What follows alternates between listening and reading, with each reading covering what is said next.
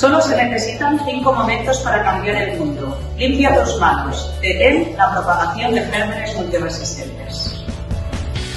La seguridad empieza aquí. La lucha contra la resistencia a los antibióticos está en tus manos. Está en tus manos prevenir la septicemia en la atención sanitaria. Una atención limpia para todos está en sus manos. Enfermeras y matronas, salvavidas, lávate las manos.